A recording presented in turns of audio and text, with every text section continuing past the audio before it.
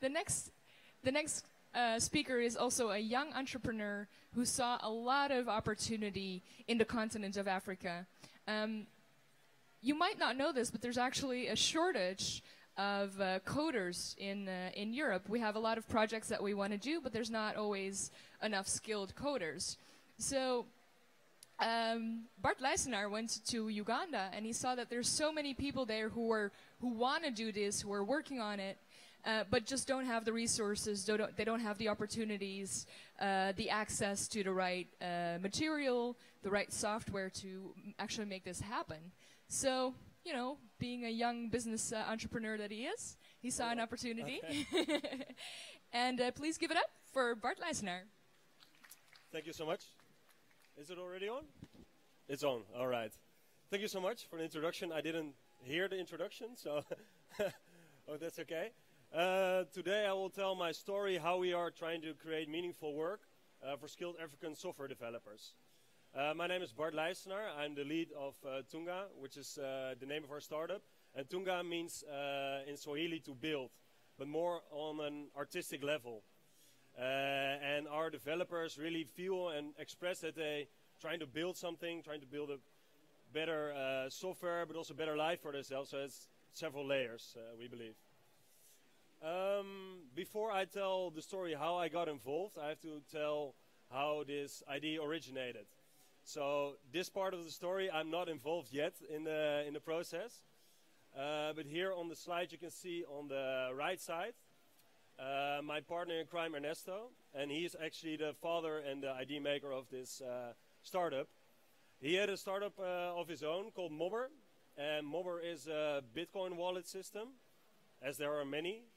But his uh, Bitcoin wallet system is different because he's uh, his Bitcoin wallet system facilitates collaborative um, payments, so crowd payments. So I think most of you know GitHub. Can I see hands? GitHub.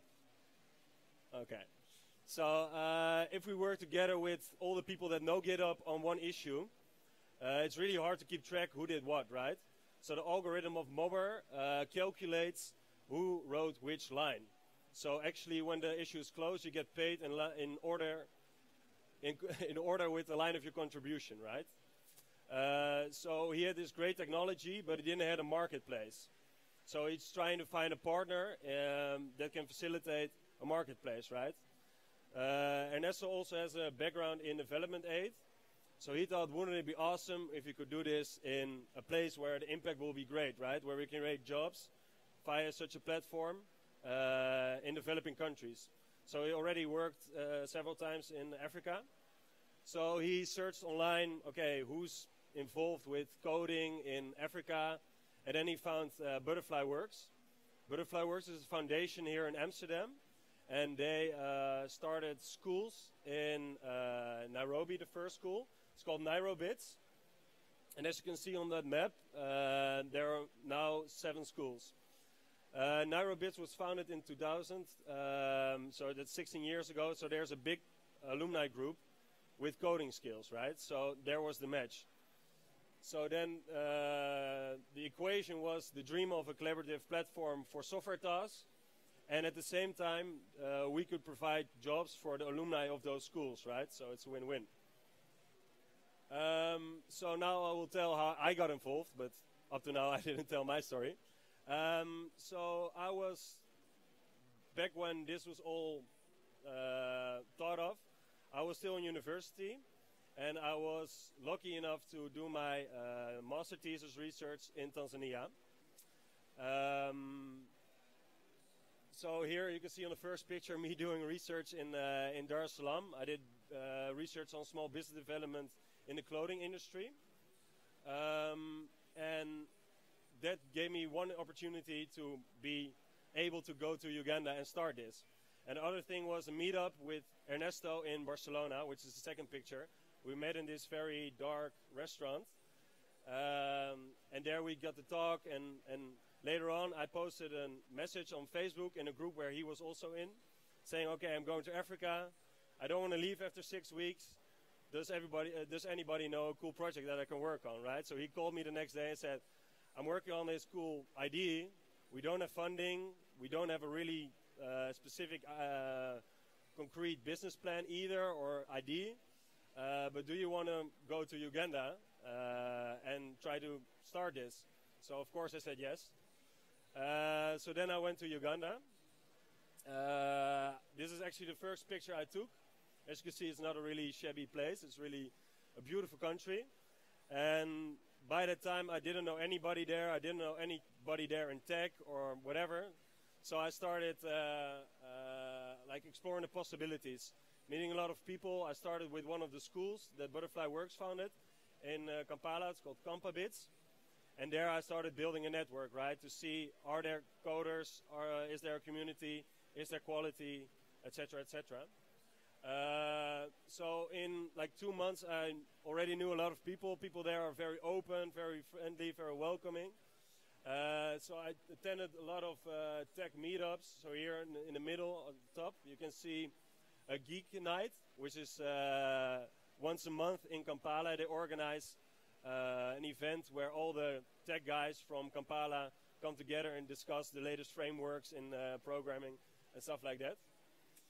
Uh, and also the picture below, you can see the full team of Butterfly Works and Ernesto and I with uh, the guy who uh, actually chose the name for, for our business called Tunga, Stash.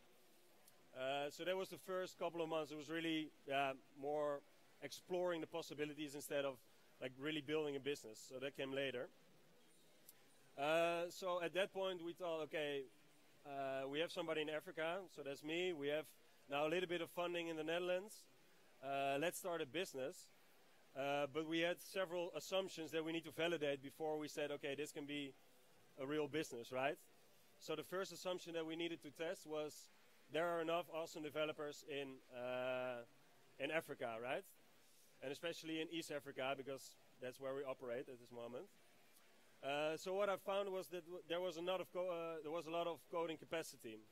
Uh, this picture is taken in one of the tech hubs in Kampala, where I also stayed for uh, four and a half months.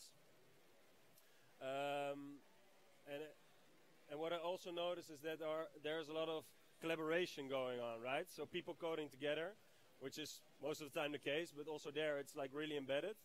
So that was also in line with our philosophy of a collaborative working uh, uh, space uh, online. Uh, and here you can see another meetup. And more pictures. So we had that one validated pretty soon, right? There are enough people. So then the second assumption that we needed to validate is there are enough businesses in the West. So we started here in the Netherlands and also across Europe uh, that are in need of extra coding capacity. This was actually the easiest one to uh, validate because if you talk to anybody in tech, they're always in need of coding capacity. Um, so we try to build a solution for that, of course, with flexible access, etc., etc. I will talk about it later. Uh, so how we validated that assumption was going to events. I don't know if you, if some of you know Uprise Festival in Amsterdam. It's twice a year. Uh, all the startups in the Netherlands come there to showcase our product. And we asked a lot of startups, are, are you in need of uh, coding capacity? And nine out of ten times the answer was yes, right? So that one was also validated. So then the third uh, assumption that we had was, okay, we have coders there. We know there's demand, but are those businesses also interested in uh, working remotely with African developers, right? So this was actually one of the hardest ones to validate. Because a lot of people say, yeah, we really like your concept, really like your idea, but do they, do they put money where their mouths are, right? Uh, so then we uh, did a first, uh, no, the first, also the only uh, uh, crowdfunding campaign. We said, okay, you can support us, and in return for your support, in terms of cash, you get coding hours, right? So at the same time, we could test our developers as well. So 15 businesses decided to try it out. So that was really good. We did this in two weeks. So for us, that was also like a small validation of that assumption that there was market for it and that they were willing to work with African developers. Uh, and also what helps is that in uh, the news also Africa is promoted more often and more often. So here are some of, uh, uh of po uh, some posts of uh, positive news about African tech. Um, so then the fourth assumption that we need to validate was the quality, right? So now we had, uh, with the crowdfunding campaign, we had 15 paying clients, and now we have to serve those, right? So we work with uh, a first pilot batch of coders, which were around 20 developers in uh, in uh, mostly Uganda. Some of them uh, were in Kenya, uh, and we try. Okay, we tried uh, to match them, right, and see if the communication went well, the quality of the code was good, etc., etc. And that was the, that pilot phase went really good. So that was for us a really big win, uh, because um, we heard about okay, there's coding skills, and they said to me, I know this, and I created this A, B, and C, but now we can, now we really put them to the test, and that succeeded. So that was really good for us. Uh, so you can see here two of our developers, Roy and Benjamin. Um, and then the last, um, the last assumption that we need to validate, because we wanted to build an online platform where businesses can post software tasks, and that they connect directly with developers. So we had to validate if our solution, such a platform, uh, is actually something that appeals to businesses here in the West, right? Um, so we started out creating uh, MVP. The first how we started, we didn't have anything. We didn't have a platform. We didn't build anything. We just said, okay, do you have Git, uh, GitHub issues? We will link uh, developers there with your GitHub issues. That went well. Was the first pilot round. The second one was a was a really uh, amateuristic um, platform made on I don't know if guys you know BuddyPress.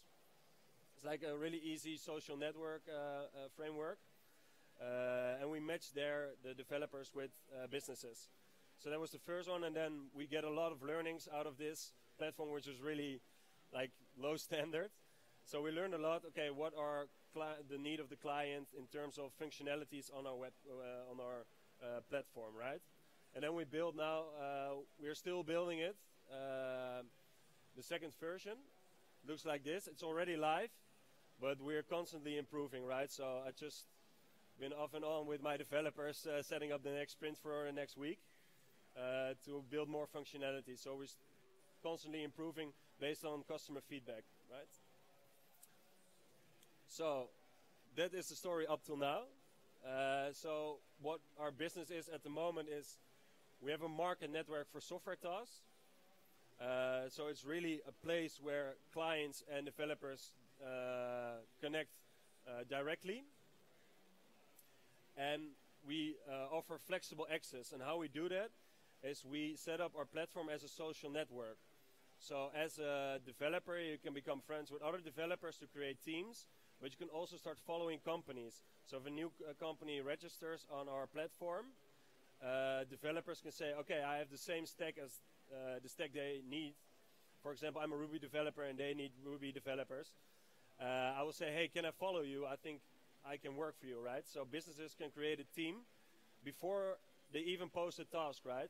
So every time you post a task, there will be enough relevant developers already in your team that can work on it. So with this, we can uh, facilitate flexible access. Uh, so on our platform, collaborations are possible. So traditional marketplaces for software tasks mostly offer only a business linking to one uh, developer, right? So with collaborations, there's more uh, more eyes looking at the project. So there's more quality control and also collaboratively learning together, right? So developers that are senior teach uh, junior developers on our platform how to work in complex uh, frameworks and so on and so forth. Um, what we also have is we have a payment system that can facilitate payments to Africa uh, because Africa is not yet connected to the global economy of, so of online work because also it's really hard to facilitate payments. So we really stripped down uh, all the payment flows and said, okay, how can we integrate this uh, most effectively? Uh, so we looked in Africa. A lot of people, or most people, I think 80%, don't uh, do not use their bank accounts very often, but they use their mobile money. So what we have as here uh, mobile banking, just with your uh, debit account, they have credits on their phone. So they pay uh, in shops. They pay with mobile money, which actually you send a text message to somebody and he receives a piece of code, and that code equals an amount uh, of money. So that's really embedded already in Africa. So we thought, okay, how can we pay developers in their own currency that they are uh, familiar with? So we send bitcoins to Africa, and in Africa they convert it back to mobile money. So even if you're a developer and you don't have a bank account, you can still work on our platform. So we can also create impact where it's most needed, right? Um, so up till now, it sounds like uh, okay, this is going very well, only successes, but we also face challenges, right? So uh, one of the challenges that uh, that we face is not the coding quality, but also the communication and uh, also the dedication of the developers. So for them, it's really hard to be very assertive and proactive and say, okay, I see you want uh, A, B, and C um, based on a task, but I think it can be uh, X, Y, Z, right? So for them, it's really hard. So sometimes they don't work efficient. So really uh, are giving workshops there based on communication and uh, how to be assertive and how to work with international clients, especially with Dutch clients who are really uh, want you to be uh, more or less aggressive in your tone of voice, right? Like I want this, I need this, blah blah. Uh, so these pictures were taken uh, taken nine uh, days ago. Just came back on Monday from Africa, and we gave here workshops in Kampala and Nairobi with our um, with our network of coders. And uh, this is the community we have in Uganda. Uh, I spend most of my time in Uganda, so a lot of friends of mine uh, on this picture. So there's a already a vivid community uh, there. Uh, so our dream for the future is that we can facilitate uh, constant work for 100 developers within the next year. Up to now, we worked with around 30 developers, and we have 90 developers on our platform. but we want to like have uh, a daily flow of tasks for those developers for around 100. We want to expand to three new countries within Africa in the next two years. And like the bigger goal uh, of our uh, startup is to uh, put Africa on the map for software development, uh, um, and that they uh, that they also get access to well-paid jobs, which they don't have at the moment. So that's our goal. All right. That was it. Thank you. Are there any questions? I, uh, I suggest that we take a moment to set up the next speaker while we uh, do a round of questions. Anybody? Uh That's funny. Just wanted to find out if you have a lot of female developers that are interested in Tunga, or you're just getting male developers that are keen. I don't see a lot of like females there. Uh, actually, in the photo, there's there's one lady. There's only one lady, but we have several. Uh, but still, it's uh, kind of hard to uh, to find a lot of female coders there. Uh, but we are trying to uh, to increase that number. But with the schools where they teach coding, there's a female to male ratio of 50-50 percent. So that's really good. But most of the times they choose to go more into designing instead of programming because I don't know it appeals more to them. So yeah. So you think uh, girls uh, in Africa are more progressive when it comes to learning technology, learning how to code?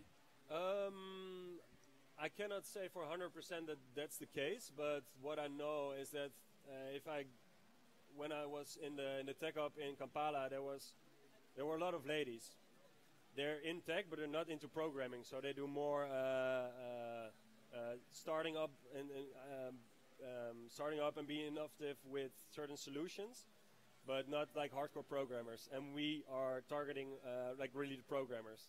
But there are a lot of female entrepreneurs there. Yeah. Great. Awesome. Any other questions? I see careful hand. which countries uh, are those where you plan to expand? Uh, so with uh, the bits, uh, the bit schools, they're going to expand to Egypt, Nigeria, and Somalia. Uh, and we attracted also funding to follow those schools. So we're going to start from the beginning, uh, also attracting coders there. So in those three countries, yeah.